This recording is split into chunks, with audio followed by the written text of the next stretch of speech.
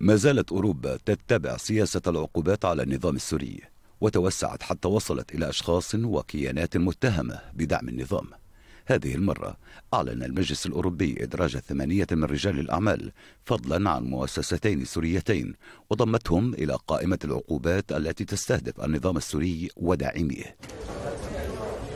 منذ بدء العقوبات الأوروبية فإنها بلغت حتى الآن 277 شخصا و71 كيانا حيث يتم بموجب هذه العقوبات تجميد أصول المستهدفين وحظر سفرهم.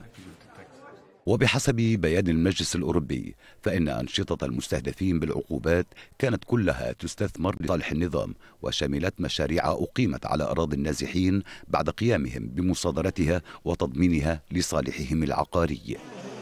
وفي البيان نفسه استحضر المجلس الأوروبي مواصلته فرض حظره على النفط والقيود المفروضة على استثمارات معينة وكذلك تجميد أصول البنك المركزي السوري في أوروبا.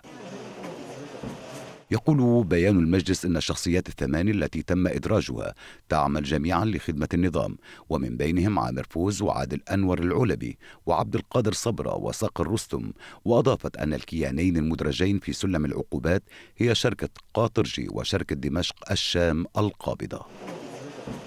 إنها عقوبات تندرج في إطار السياسات الردعية التي تهدف إلى إضعاف النظام من الناحية الاقتصادية فهل حققت هذه العقوبات أهدافها في الاتجاهات التي تريدها؟